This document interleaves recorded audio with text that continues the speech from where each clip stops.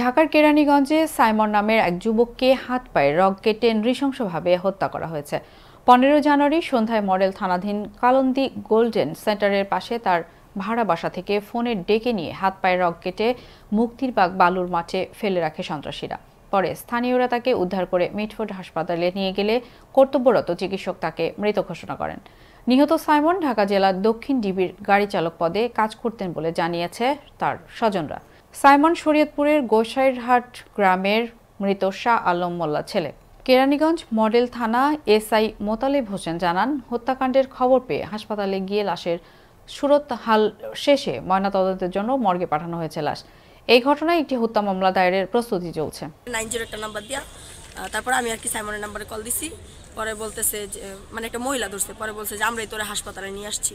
আমি যাই হোক, তাহলে ওরা ট্রিটমেন্ট করাইছেন। পরে বলছে যে, ও তো মারা গেছে।